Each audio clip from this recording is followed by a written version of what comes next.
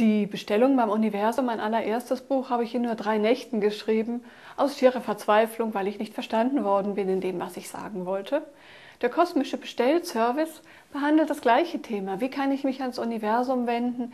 Wie kann ich mir Hilfe holen und kosmische Inspiration? Wie kann ich mich lenken lassen, um zur richtigen Zeit am richtigen Ort zu sein für ein glückliches und erfülltes Leben?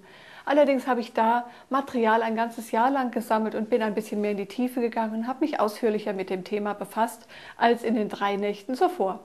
Wer also das Thema vertiefen möchte, der ist beim kosmischen Bestellservice richtig.